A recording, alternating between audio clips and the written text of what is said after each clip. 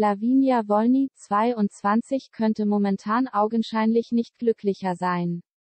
Vergangenes Jahr im November verkündete die TV-Persönlichkeit, dass ihr Freund Tim Katzenbauer und sie zum ersten Mal Nachwuchs erwarten. Ende Februar durften die Eltern ihr Baby dann auch endlich in den Armen halten.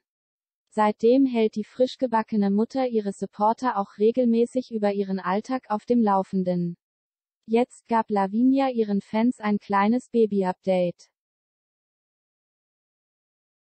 Auf ihrem Instagram-Account sprach die in Neuss geborene Beauty nun ausführlich über die Entwicklung ihrer Tochter Hailey Emilia. Die Fans der Die Wollnüs Bekanntheit interessierte dabei besonders, ob Lavinia schon wieder durchschlafen könne und wie sie die Nächte generell empfinden würde. Mal entspannt, mal ansprechend, antwortete die Blondine und fügte ein lachendes Emoji hinzu. Anschließend verriet die Mama außerdem, dass er sie nachts aufstehen würde, um sich um die Kleine zu kümmern, das habe auch einen ganz besonderen Grund. Ihr Freund müsse schließlich früh aufstehen, um zur Arbeit zu gehen.